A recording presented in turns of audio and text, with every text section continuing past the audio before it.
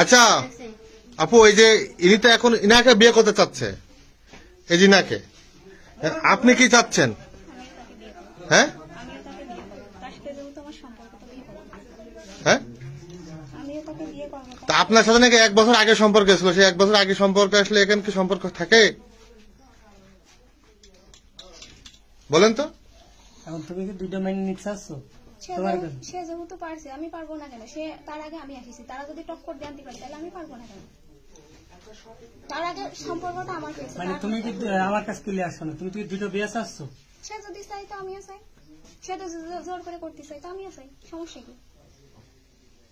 সে যদি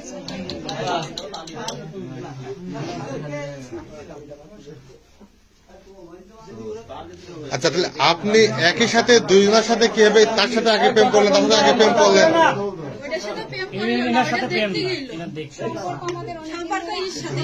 আপনার আপনার সাথে যে সম্পর্কটা উনি আমাদের কাছে স্টেটমেন্ট দিয়েছে এক বছর আগে সম্পর্ক শেষ। ঢাকায় যাওয়ার আগে না? তারপরে তো এমনি মার ফোনে মাঝে মধ্যে কথা হতো, তাছাড়া না। না, তারপরেও আমি আসার পরে বোধহয় একদিন কথা হয়েছে। আপনাদের সম্পর্ক কি আগেই শেষ হয়ে গেছিল? আমাদের না, সম্পর্ক ওইভাবে- আগে ছিল আমি যখন ঢাকায় যাই ঢাকায় যাওয়ার আগে ছিল। ওইভাবে শেষ হয়নি। তো ঢাকায় আপনি গেছিলেন কত আগে? এক বছর আগে তার সাথে প্রেমের সম্পর্ক শেষ?